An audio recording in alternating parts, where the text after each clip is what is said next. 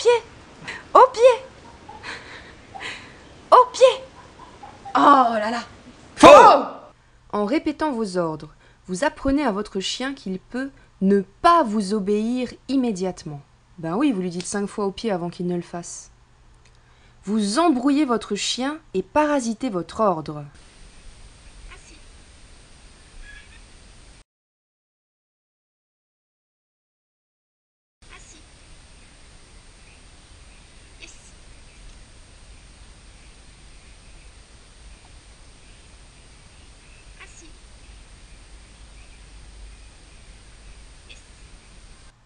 Je guide le chien.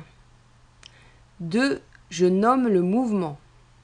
Assis égale ce que tu es en train de faire là, ça s'appelle assis. 3. Je libère le chien pour qu'il sache qu'il ne doit pas bouger tant que je ne l'y ai pas autorisé. La méthode est la même pour tous les ordres.